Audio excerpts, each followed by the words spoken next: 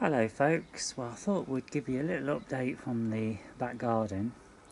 Now just bear in mind that the last six weeks very little has been done at all. Just a little bit of weeding um, so you're seeing it pretty well untouched.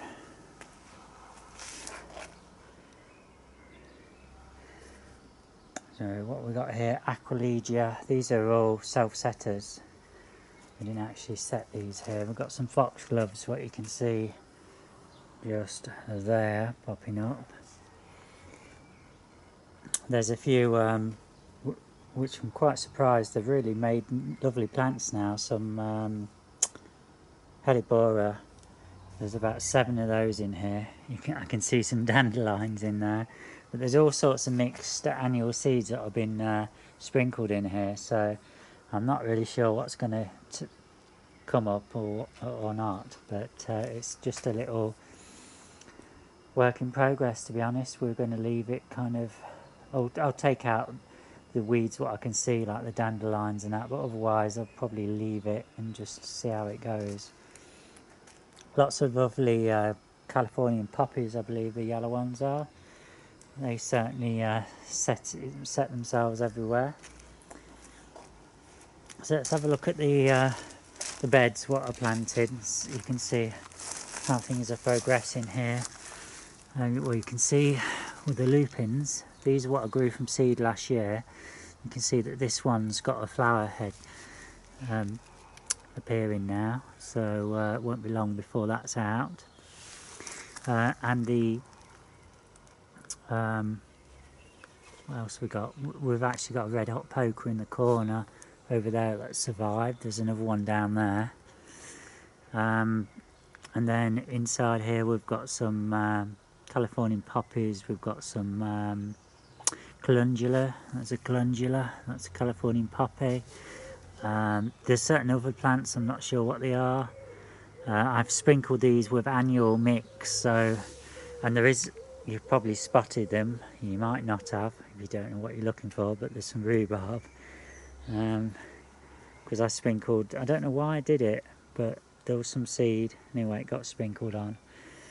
Um, I'm just having a quick peek myself. I've not really took much notice of what's happening on the back there. As far as the apple tree goes folks it's looking really really good Nadia's done a great job.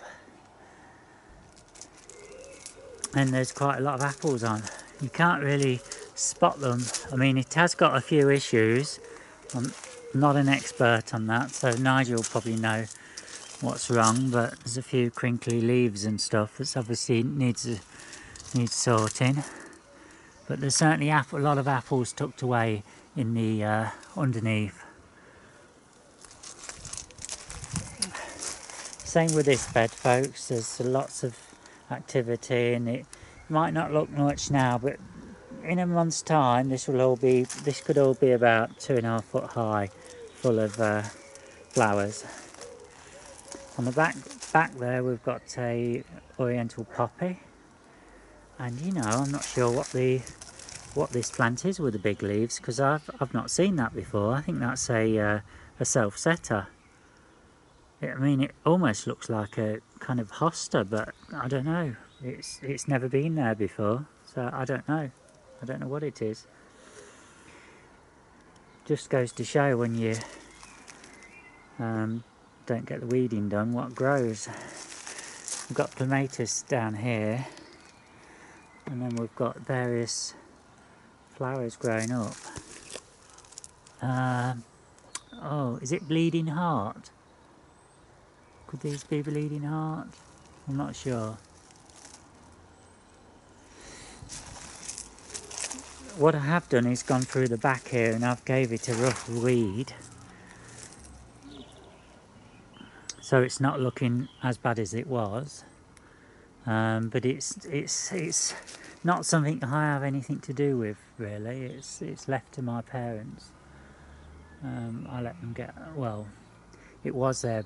I mean, it's me now. I has to clear it and that, but it, I don't really have any say what gets grown here, if it was left to me, it would all be done differently. But of course now we've got fruit trees in here, there's not a lot I can do about that. The tree what you're looking at here is the plum tree, Caesar. And I'm just trying to see whether that's got any fruit on it. Yes it does. I can see a plum a plum just there. But you know,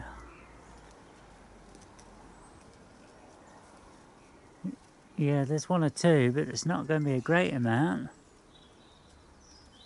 No, we're not going to have a good year for plums, that's for sure. But pears, that's a different matter. Can you see? Let's zoom in. You can see. See if I can just uh, pan around a little. Can't really, can't really see on the through the display, but I can tell, I can confirm that it's loaded. The pear tree is, and also the apple tree at the back there, which gets neglected. That one there.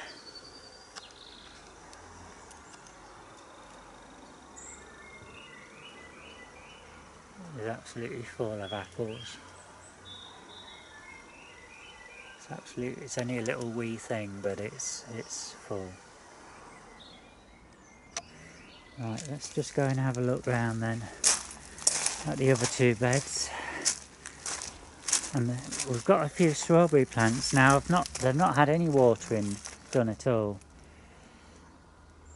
Um, none at all. But you can see we've got strawberries. Um, to be honest with you, I was thinking about uh, just using them to fill the beds, and uh, but uh, we're going to get a few strawberries, a few hundred maybe. And then we've got the beds at the background. You can see we've got sweet william, we've got a few pansies, and again these have been sprinkled with uh, annual mixes. So we're, we're going to have some poppies. We've got dahlias in these. Um, so in a month's time it should look totally different. The troughs and that at the back have never been sorted since last year. The rose is seen better days. I think it's it's it's not going to survive. I don't think it's looking too good at all.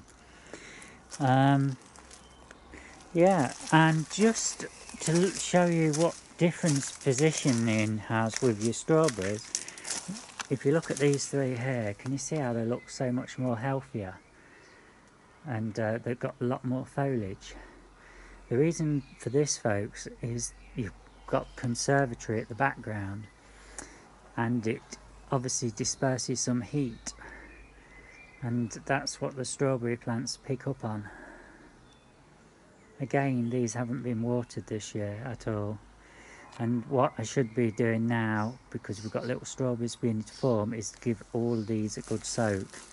So anything what's got strawberries on, you need to give them a good soak. Not not so easy when you get allotment because it's so much water involved. But if you're at home, then get the hose pipe out and give them a good soak. In fact, that's what I think will be a job for tomorrow. So that's it, folks. That's the little update. I hope you enjoy it, and uh, hopefully, the next time I do one, there'll be a lot more colour in the garden.